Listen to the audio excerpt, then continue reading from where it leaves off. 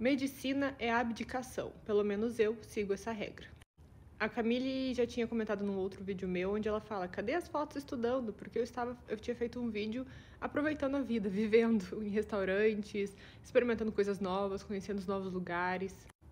Eu sou estudante de medicina, eu sei o quanto a carga é muito pesada, eu estudo muito, é, eu sei que eu tenho que abdicar de muita coisa para estudar medicina, para um dia ser formada em medicina e para um dia atender muito bem meu paciente. Mas a vida do estudante não é ou não deveria ser somente absorver conhecimentos técnicos e ficar o dia inteiro em cima de um livro.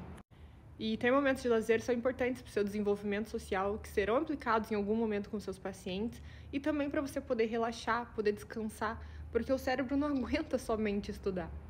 E justamente pela faculdade ser tão estressante e exigir tanto da gente, que a gente precisa se organizar e ter os momentos de diversão, os momentos de relaxamento. E lembrar que, poxa, a sua vida tá passando, sabe? Enquanto você tá estudando medicina, a sua vida tá passando. E a gente estuda por muitos anos, no mínimo seis anos. Aqui na minha faculdade, por exemplo, são sete. Aí depois você ainda vai fazer especialização, são mais dois, três, quatro anos. É inviável que você passe uma década da sua vida sem fazer mais nada além de estudar. E não só é inviável, como eu acho muito improvável que a própria Camille leve isso à risca. E eu digo mais: se você estuda medicina ou absolutamente qualquer curso e você diz que você não tem tempo para mais nada, é porque você está estudando errado. Porque se você consegue realmente se dedicar aos estudos e planejar corretamente, você vai ter tempo também para relaxar. O que ocorre bastante é que às vezes o aluno passa ali o dia inteiro estudando, mas na verdade está distraído, está assistindo alguma coisa, está mexendo no celular.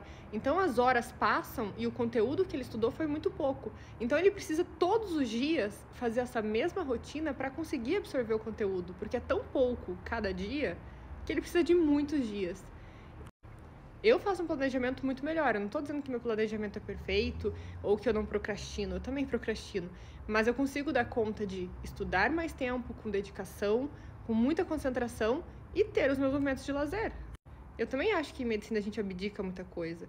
Eu abdico, às vezes, de sair numa noite anterior de uma prova, às vezes é aniversário ou algum evento que eu sei que no outro dia não vai ser sustentável para eu fazer a prova, então eu acabo deixando de ir. Eu deixo, às vezes, de fazer uma viagem porque eu tenho que estudar naquela semana.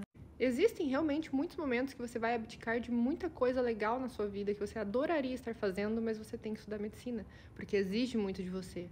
Mas a vida não é só abdicar, a vida não é só ser estudante. E se você é só estudante, eu sinto muito por você.